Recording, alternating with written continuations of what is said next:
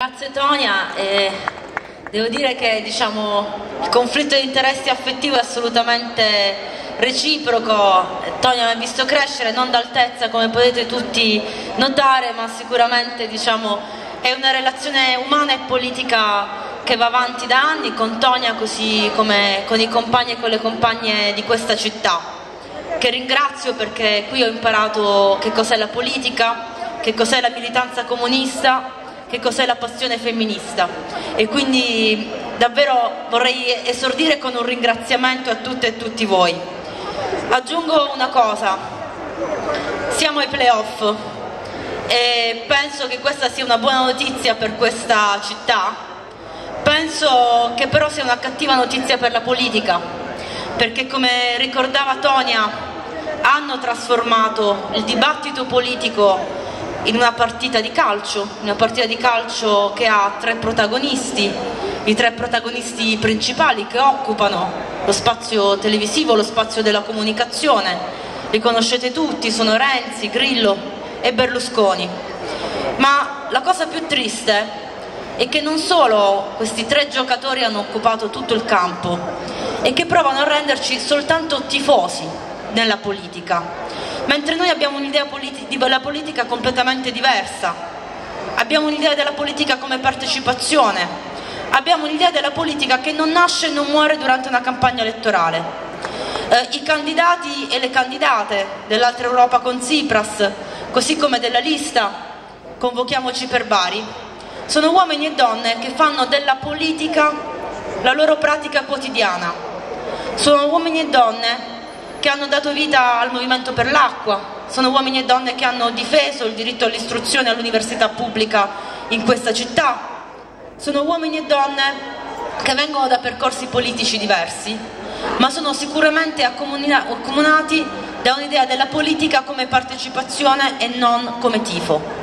Penso che questo sia un punto fondamentale perché noi proponiamo non solo una politica diversa, ma anche un'idea diversa di politica e credo che sia ora di rivendicarlo e di ribadirlo. Guardate, io ho affrontato questa campagna elettorale per me straordinaria perché mi ha permesso di conoscere un paese nel paese, in questo sud fatto di militanza generosa, intelligente, appassionata. E dall'altro lato c'era chi viveva la campagna elettorale con molti mezzi, con una grande presenza televisiva, con slogan altisonanti e provava però a vivere questo spazio, questo non luogo della campagna elettorale come il momento in cui può far agire una rimozione, il momento in cui poter dire esattamente il contrario di quello che si è fatto nei mesi precedenti negli anni precedenti. Penso che questo valga ovviamente per le forze del centrodestra che ora scaricano sul centro-sinistra le scelte dell'austerità, elevando Berlusconi al ruolo di vittima fatto fuori dall'Europa. Vale per il centro-sinistra che scarica a sua volta sul centrodestra. Ecco, io penso che noi dobbiamo ricordare, ricordare molto chiaramente, che le politiche di austerità hanno dei responsabili hanno, sono scelte politiche fatte da soggetti politici. Questi soggetti politici sono in Europa il Partito Socialista Europeo e il Partito Popolare Europeo che hanno votato nel 74% delle volte alla stessa maniera. E in Italia si chiamano appunto Berlusconi, centrodestra, Giorgia Meloni, Partito Democratico. Partito Democratico che ha sostenuto il governo Monti, regalandoci il fiscal compact, 50 miliardi di tagli all'anno per 20 anni, che ha dato mandato a Letta, che a sua volta ha dato mandato alla Commissione europea per trattare sul TTP, un trattato di commercio di cui non sappiamo quasi nulla, perché gli atti sono segretati persino agli eurodeputati, ma che ci renderà il cortile commerciale degli Stati Uniti. E poi Matteo Renzi, di cui, come direbbe il comico, abbiamo una diapositiva, abbiamo una diapositiva che lo ritrae in migliaia e migliaia e migliaia di manifesti anche abusivi con cui è stata tappezzata questa città e che lo ritrae insieme all'altro esponente del Partito Democratico importante in questa città, il candidato sindaco, a dimostrazione del fatto, il candidato sindaco De Caro, a dimostrazione del fatto che l'Europa e la città sono livelli fortemente connessi, beh, Matteo Renzi era quello che aveva esordito con i suoi tweet, l'Italia cambia verso, la svolta buona, era il leader della rottamazione, beh io penso che sia il leader della continuità, della continuità con le politiche che precarizzano il lavoro, il primo provvedimento di sostanza di Matteo Renzi è stato il Jobs Act, che ci rende ancora più precari in un paese in cui la precarietà è aumentata del 160% in 20 anni, in cui si è perso più di un milione di posti di lavoro dall'inizio della crisi. Questo ha fatto Matteo Renzi, ha aumentato la precarietà, ha proseguito esattamente con le politiche della Fornero, con eh, la signora ministra che ci raccontava di una contrapposizione tra garantiti e non garantiti e trovava come unica soluzione quella di aumentare l'età pensionabile e aumentare la precarietà del lavoro, impoverendoci tutte e tutti. Beh, io penso che noi dobbiamo fare da questo punto di vista quello che ci ha insegnato Alexis Tsipras, questo leader dal nome strano, qui c'è mia madre che lo pronuncia ogni giorno in modo diverso, ma non importa, perché quello che importa è il programma. Il programma di Alexis Tsipras è unire ciò che il neoliberismo ha diviso, unire ciò che il neoliberismo ha diviso perché hanno costruito una retorica, una retorica pesantissima, basata sulla contrapposizione tra garantiti e non garantiti, tra chi lavora o chi ha una pensione che avrebbe vissuto al di sopra delle proprie possibilità e i giovani precari a cui chiedevano ancora una volta di continuare ad essere più precari di prima. Io penso che noi dobbiamo unire, unire chi sta pagando il prezzo della crisi, unire le diverse tipologie del lavoro precario frammentato, unire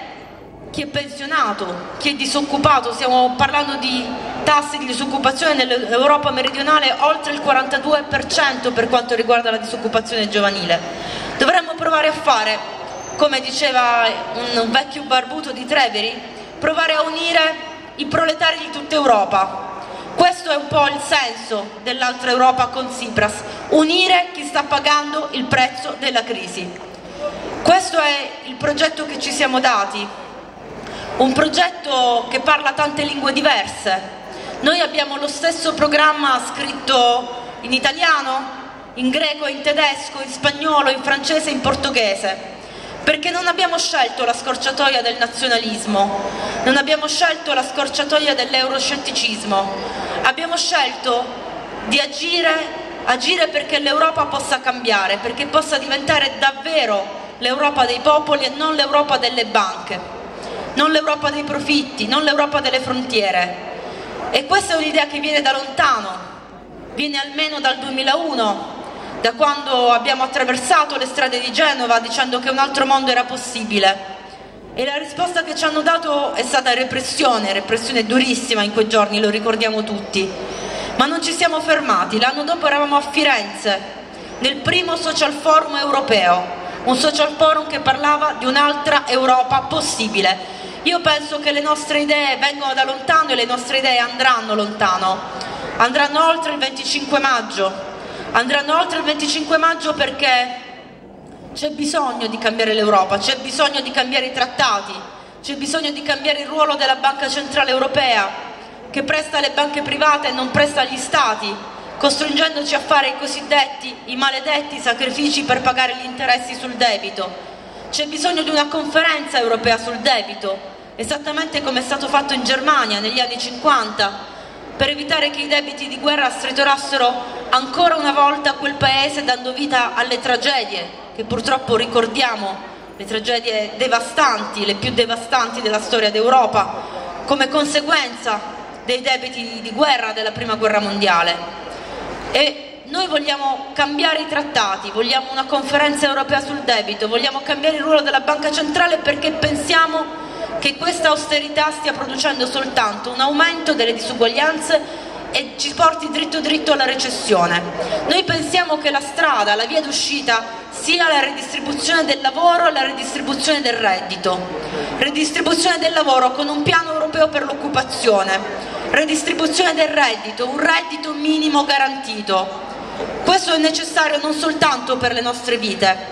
per le nostre vite precarie, per le nostre vite da disoccupate e disoccupati. Precarietà, lo dico sempre, è il contrario di autodeterminazione. Precarietà è il contrario della possibilità di poter scegliere sul proprio presente e sul proprio futuro. Beh, io penso che noi dobbiamo uscire da questa stagione di precarietà delle vite,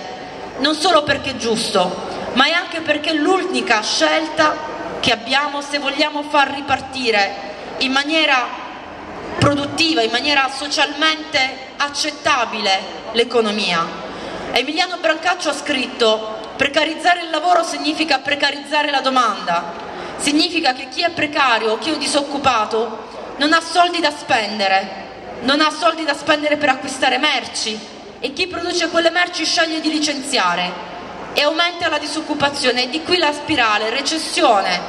recessione e disoccupazione. È da tutto questo che dobbiamo uscire, è tutto questo che dobbiamo cambiare. Ed è per questo che è importante il 25 maggio dare forza alla sinistra in Europa, dare una voce anche italiana alla sinistra europea. Abbiamo scelto un leader greco, lo diceva prima Franco, penso che questa sia una scelta più che mai giusta, perché in Grecia in Grecia stanno pagando più che altrove il prezzo delle politiche di austerità sulla sanità, sul pubblico impiego, sulla televisione di Stato. C'è una cosa che da precaria dell'università, da precaria della ricerca mi preme ricordare. Ad Atene chiude l'Ateneo. Questo non è un gioco di parole, è il segno che l'austerità sta distruggendo la culla della civiltà europea, sta distruggendo il luogo dove è nata appunto l'idea di cultura, l'idea di civiltà d'Europa e insieme a questo stanno distruggendo l'idea di welfare, l'idea di Stato sociale che hanno costruito le lotte dei lavoratori e delle lavoratrici, l'idea che ad esempio il carico sociale non sia una questione privata come sta tornando ad essere sulle spalle delle famiglie e delle donne, ma sia una questione pubblica sia una questione legata all'idea di società e di progresso sociale che abbiamo. Esattamente questa è l'Europa che stanno distruggendo. E allora nostra, il nostro dialogo con, con, la Grecia, col partito di Tsipras, è iniziato appunto nel 2001, quando i giovani comunisti e i giovani del Synapsis Mos provarono insieme a marciare per le strade di Genova, in realtà loro non ci riuscirono perché Alexis, come gli altri, fu bloccato ad Ancona. Ed è continuato, è continuato quando abbiamo costruito un movimento per il sapere pubblico, per la difesa dell'università, le stesse identiche controriforme colpivano l'università italiana e l'università greca nello stesso momento. Ma abbiamo scelto un leader greco anche per partire da sud, anche per dire che si può riscrivere un futuro dell'Europa in cui Mediterraneo non significhi periferia, in cui Mediterraneo non significhi lago di morte, una delle ragioni per cui sono particolarmente contenta che Luigi sia il nostro candidato sindaco e che lui si è mobilitato come avvocato e come attivista contro quello scandalo che sono i CIE, che sono i CARA, in cui noi deteniamo uomini e donne che cercano salvezza, che cercano felicità, che cercano futuro. Ecco, l'Europa che noi vogliamo è un'Europa dell'accoglienza,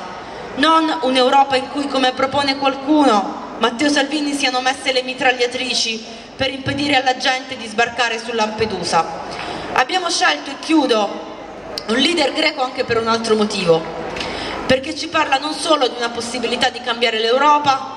di cambiarla a partire dal sud ma non contro il nord, appunto il nostro nemico non sono i paesi del nord Europa, il nostro nemico sono coloro i quali continuano a fare profitti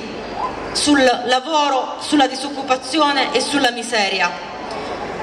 C'è un altro motivo, dicevo, quello di dare un futuro alla sinistra anche in Italia, un futuro che parli europeo e che parli d'Europa. Alexis Tsipras è il vicepresidente del Partito della Sinistra Europea, ma rappresenta anche un modello di sinistra, una sinistra capace di diventare forte perché interna al conflitto sociale, forte perché unisce unisce, Siriza era poco più di dieci anni fa un partito del 3%, ieri ha vinto, avantieri ha vinto le amministrative in Grecia, ma di unire su una parola chiara, su un programma chiaro e alternativo. Siriza non ha mai fatto accordi col PASOK, perché il PASOK, esattamente come il Partito Democratico, esattamente come il Partito Socialista Europeo, è uno dei pilastri dell'Europa dell'austerità. Ecco, una sinistra europea, alternativa, forte, radicata nel conflitto sociale. Votare il 25 maggio l'altra Europa con Tsipras è importante, è importante per cambiare l'Europa, ma è importante anche per dare forza a un progetto di sinistra anche qui in Italia. Grazie a tutti e a tutti.